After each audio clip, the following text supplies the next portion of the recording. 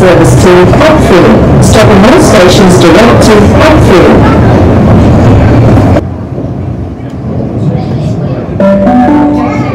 Now arriving at Southern Cross.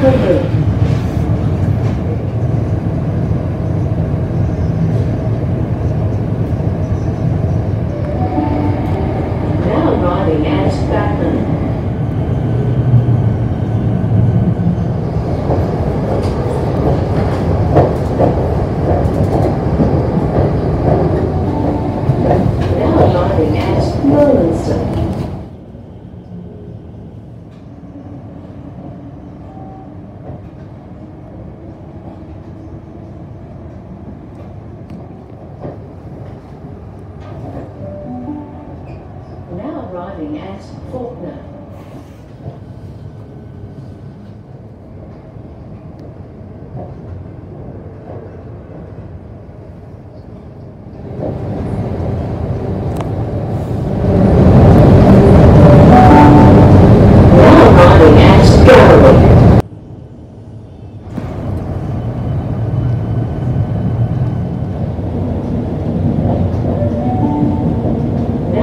At Upfield. This train will be terminating at Upfield.